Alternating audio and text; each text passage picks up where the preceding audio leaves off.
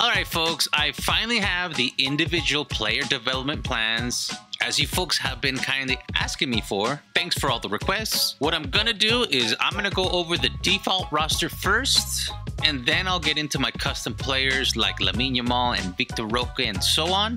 I'll do them all. Now, some of the players I'm unsure of, so make sure you consistently check the comment section. Well, I'm gonna put all the best suggestions based on your feedback. And if I create a new Barca player down the line, I'll add their individual development there. And while you're down there, please leave a nice little comment. Don't forget to subscribe and like. Let's get started. All right, for the goalkeepers, I would say Marc-Andre Ter Stegen, this one's obvious, sweeper keeper. You could do the same with Peña, but for Mark Vidal and Astralaga, I have set those to balanced. Because I don't know them that well, if you have any suggestions, let me know in the comment section. Alright, so Alejandro Balde, his main position is a left wing back.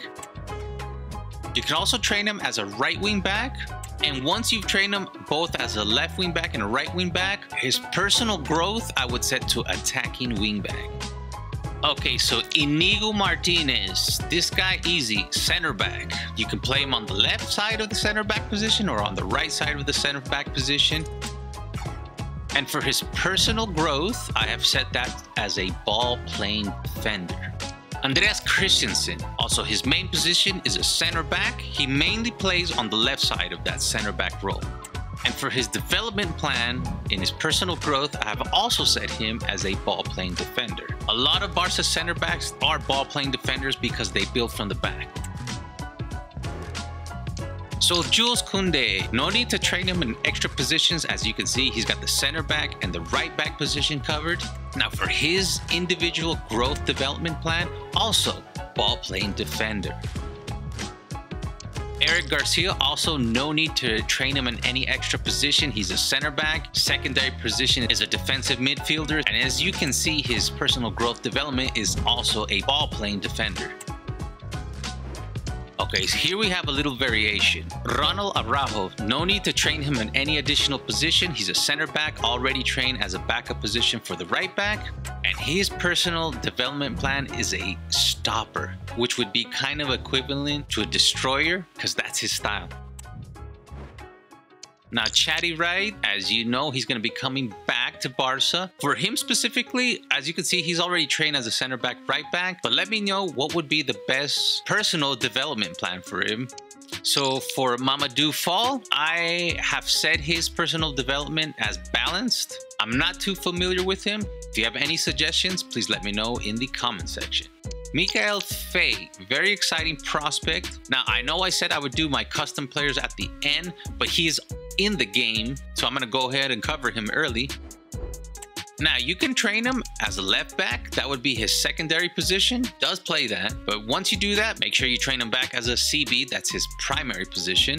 And I currently have him as balance. I like to do this with most of the younger players if they're too young because they're still developing in all aspects. But after a little bit of maturity, I would also set him up as a ball playing defender. He's really good at with the ball and the build-up play. So Trilli, I have as balanced, not too familiar, so if you have any suggestions, please let me know in the comments section. Oriol Romeu. Now, there's no need to train him in additional positions. His main position is CDM. He also plays the center midfield as a secondary position. And for his personal development, you want to set him up as an anchorman. That is the role he plays at Barcelona. All right, Marc Casadó. Now, his main position is a CDM, secondary position is a center midfield, you can also train him as a right back, but it's gonna take kind of forever. I'm personally not doing it. Xavi has used him like one time there, but for his personal growth, I would train him as an anchor man. All right, so Ilkay Gundogan. His main position is a center midfield. His secondary position is a CDM. And for his personal growth, you want to train him as a box to box. The cool thing about Ilkay Gundogan is that he can play any position in the midfield. Like if you're using my Xavi tactics, you can set him up as a secondary pivot. That's the role that Frenkie de Jong plays or Gavi. Or you can set him up as an anchorman. Xavi's been using him a lot as an anchorman. That would be the role that Romeu is currently playing. But you can also play him in the position that Pedri plays, which would be a more offensive midfielder. But I wouldn't set him up as a cam. I would just set him up as a center midfielder that attacks. He moves forward. Okay, Frenkie de Jong. Even though we all wish he would be the anchorman, he's not. His main position is an interior midfielder, and he's mainly used as a secondary pivot. So that's why his secondary position here is CDM. And for his personal growth, I have set that up as a central midfielder because he's not really a ball winning midfielder. He's actually pretty bad at that. I mean, you could say he's kind of box to box, but he's not a finisher, so you don't want to invest in that. But if you don't want to go with central midfielder, playmaker would also be an option. In eFootball, he's mainly an orchestrator, and I think that would be kind of similar to playmaker. Okay, so Pedri, as you can see here, not all my players I've, I've, finished developing, so it only says he's a center midfielder, but his actual secondary position would be attacking midfielder, and he also plays the left wing forward as his third position, so you can train him for those. But his main position is a center midfielder. And since he's kind of a jack of all trades, I've trained his personal growth as balanced. Alright, Gavi. So his main position is a center midfield, and a secondary is a left wing forward, which is kind of deceiving because he really plays more of what Joao Felix is playing, just lies a little bit deeper. So I would actually train him as a center forward if you're using my Xavi tactics because that's where you would put him. But once you're done with that, for his personal growth, you want to go with ball winning midfielder. That's really characteristic of who he is.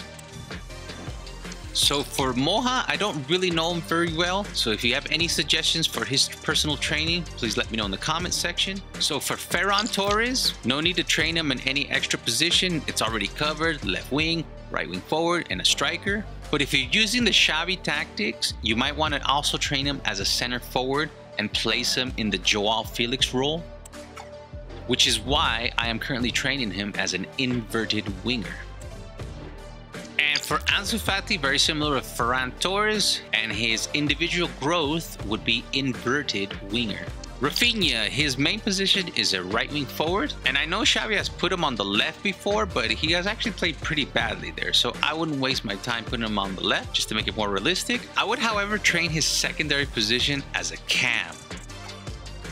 Xavi's placed him there a couple times and he actually plays it pretty well. So if you're using my Xavi tactics, it would be the position where I put Pedri or Fermin Lopez and set it up as cam. And when you're done with that, for his personal growth, would be a wide playmaker. Now, Joao Felix. No need to trade him in additional positions center forward striker and left wing would be the best with his main position being center forward as he plays the secondary forward behind Lewandowski. And for his individual growth, I would set him as a bombardier, which is a deep lying forward. Lewandowski, very easy. He only plays the striker position. Maybe when he was younger, he'd play a little bit of the wings, but not anymore. And his individual development plan, very easy. He's a target player. So for Pau Victor, they currently have him as a striker and cam, but he can also play on the left wing forward and the right wing forward. So if you want to train him for those additional positions, that's cool. As far as his individual growth, let me know what you think would be the best one in the comment section. Marc Guiu. So his main position is a striker, and so far it's his only position. Now for his individual growth, he's really known as a pure striker, so I would train him as a complete striker.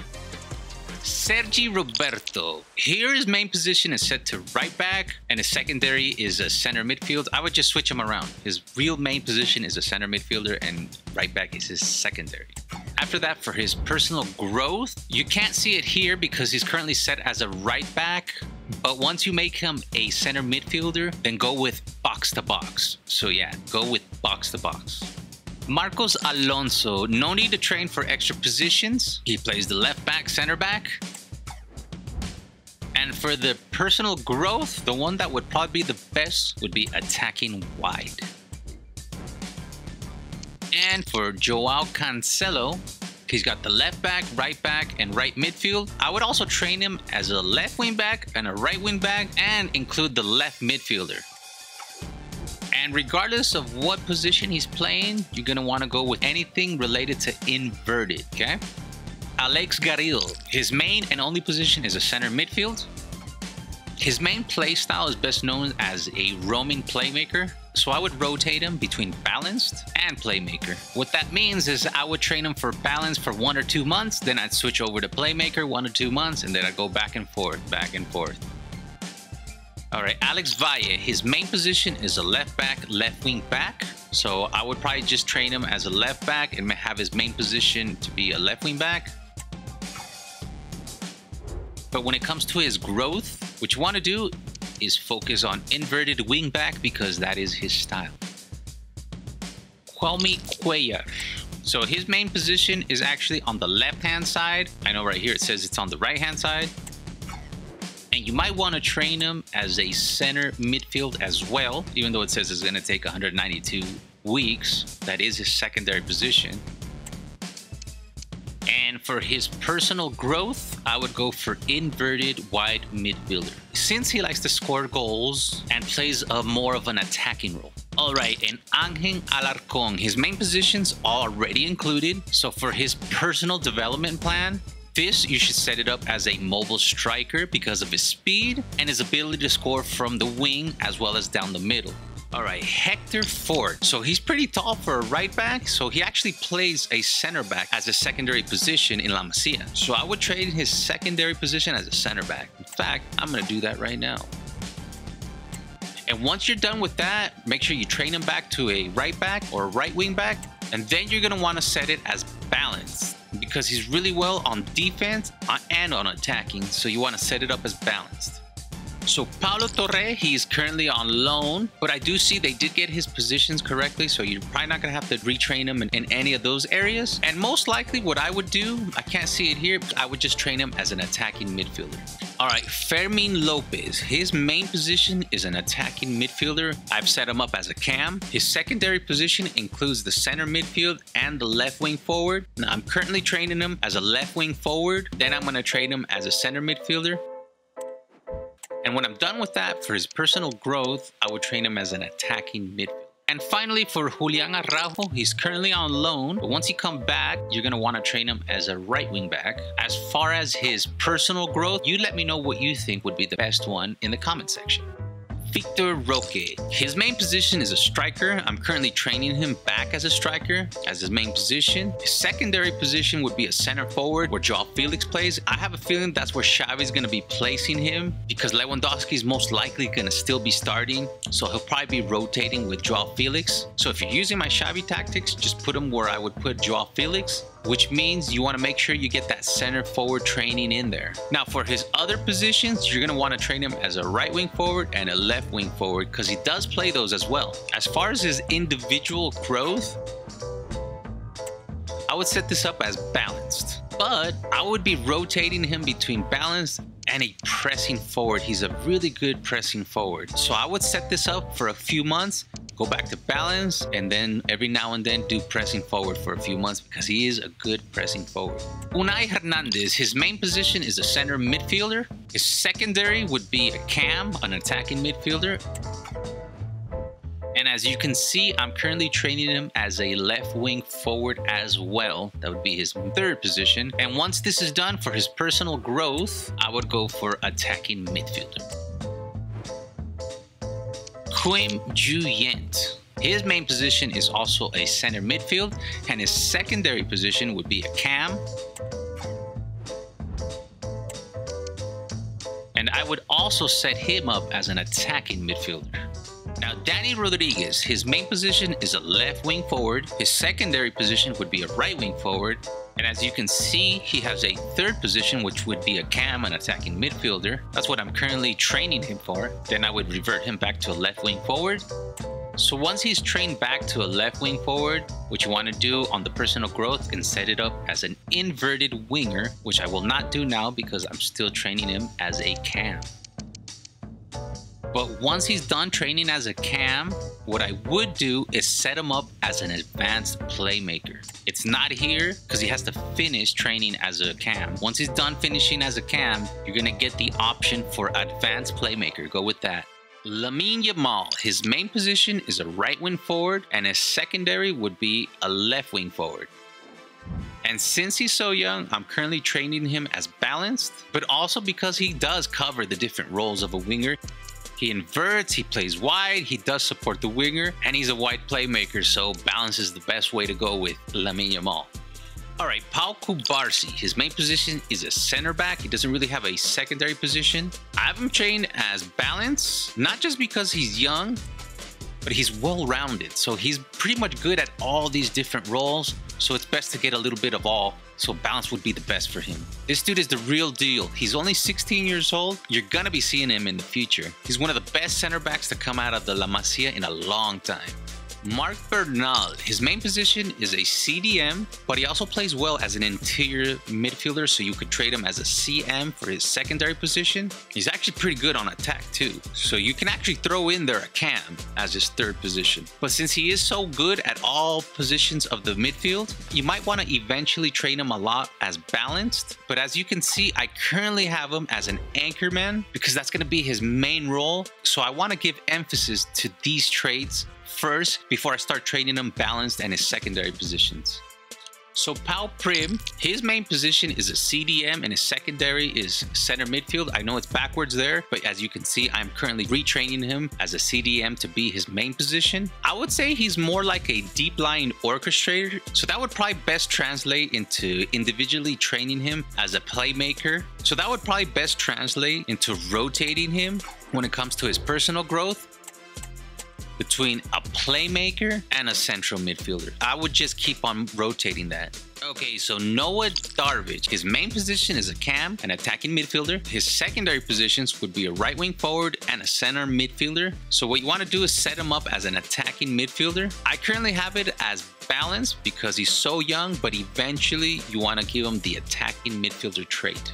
Alright, thank you so much for watching. I strongly recommend you use my Xavi tactics in complement with this tutorial. That's going to be available for you on the lower left. And folks, don't forget to check the comment section for updates. And while you're there, leave a nice comment. And finally, check out my career mode. It's available on the lower right. You guys take care and have a good day.